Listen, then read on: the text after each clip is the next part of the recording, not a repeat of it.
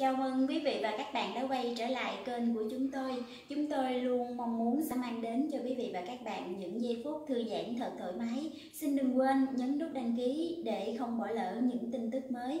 Sau đây, xin mời quý vị và các bạn theo dõi chuyên mục Tin nghệ sĩ. Phi Thanh Vân thi trượt hoa hậu 3 lần, được chồng cũ đưa đi nhuộm da. Phi Thanh Vân từng thi Hoa hậu 3 lần nhưng không gặt hái được thành quả gì. Cô thi Hoa hậu Việt Nam không vào top 60, thi Hoa hậu áo dài lọt top 40 và đến Hoa hậu điện ảnh mới được vào top 20. Trong tập 151 chương trình Khoảnh khắc cuộc đời, Phi Thanh Vân là khách mời trò chuyện cùng MC Phương Hiếu về những khoảnh khắc trong cuộc đời mình. Nữ doanh nhân tự nhận trong 23 năm làm nghề, cô hầu như ít khi kiệm lời, có bao nhiêu bí mật đều kể hết cho khán giả nghe. Chồng cũ chi rất nhiều tiền để cho cô nhuộm da. Theo dòng hồi tưởng, Phi Thanh Vân bắt đầu từ việc mình từng là một cô bé bị tổn thương rất nhiều trong tuổi thơ. Khi theo gia đình chuyển vào Nam sinh sống, cô đã bị những đứa trẻ cùng trang lứa kỳ thị vùng miền, đến mức từng bị nén đá chảy máu đầu hay bị bạn nam cùng lớp bóp ngực để bắt nạt. Chính những tổn thương đó đã giúp cho nữ doanh nhân luôn có mục đích sống rõ ràng, quyết tâm phải thành công.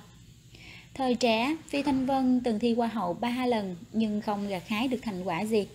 Cô thi Hoa hậu Việt Nam không vào được nổi top 60, thi Hoa hậu áo dài lọt top 40 và đến Hoa hậu điện ảnh mới lọt vào top 20. Cô tự an ủi rằng ít nhất thành tích của mình cũng đã tăng dần theo thời gian. Là người gốc Hà Nội, Phi Thanh Vân từng có làn da trắng. Bước ngoặt đầu tiên vào năm 21 tuổi, nữ doanh nhân gặp Thierry, chồng cũ người Pháp của cô. Khi còn là người yêu, Phi Thanh Vân đã được Thierry giới thiệu một chuyên gia đào tạo người mẫu nổi tiếng ở thành phố Hồ Chí Minh lúc bấy giờ, tên là Henry. Vị chuyên gia này nhận định Phi Thanh Vân có ngoại hình sexy và khuôn mặt rất tây, nhưng để lại làn da trắng, mắt ấp như một cô gái Việt Nam bình thường thì sẽ không bao giờ thành công. Ban đầu khi nghe những lời khuyên nhuộm da nâu để phù hợp với ngoại hình, Phi Thanh Vân không đồng ý vì cô thích ngoại hình thuần Việt. Sau đó, Henry, Terry và một người mắt cấp nữ cùng phân tích, góp ý thì nữ doanh nhân mới quyết định đánh liều nhuộm da. Tôi phải cảm ơn những ví nhân đã giúp đỡ mình năm đó. Terry đã đưa tôi đi nhuộm da trong một lò hấp ở Thái Lan, tốn rất nhiều tiền. Sau đó anh còn mua thêm rất nhiều mỹ phẩm mang về Việt Nam cho tôi tiếp tục nhuộm da. Số mỹ phẩm này lúc đó cũng rất đắt. Tôi đã mang làn da nâu mười mấy năm trời. Sở hữu làn da nâu được nửa năm, Phi Thanh Vân đổi đời. Thăng tiến nhanh chóng, cô giành giải bạc siêu mẫu Việt Nam cùng giải tư siêu mẫu quốc tế do báo chí bình chọn. Phi Thanh Vân vẫn nhớ giai đoạn làm người mẫu, sánh vai cùng Xuân Lan, Hồ Ngọc Hà, Hoàng Yến. Cả giới người mẫu, hoa hậu khi ấy chỉ khoảng 20 người nên ai cũng chạy xô, gãy guốc.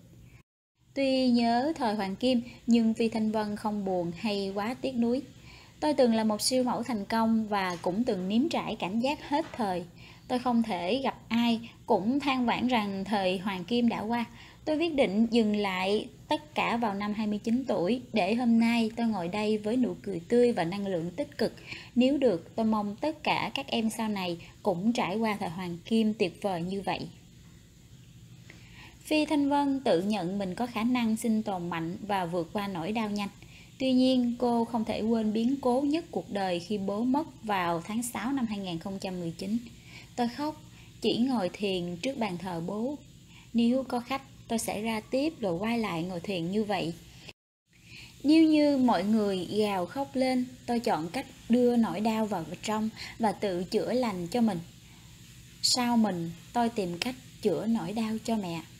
Hôm nay tôi ngồi đây cười nói vì muốn truyền đi năng lượng tích cực cho mọi người. Chứ ít ai biết mẹ tôi đang nằm trong bệnh viện làm phẫu thuật, bà đang chờ tôi về đón bà. Phi Thanh Nhân xúc động kể trước khi kết thúc phần chia sẻ.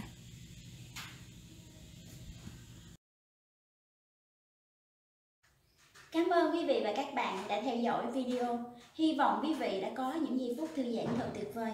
Xin chào và xin hẹn gặp lại ở những video tiếp theo.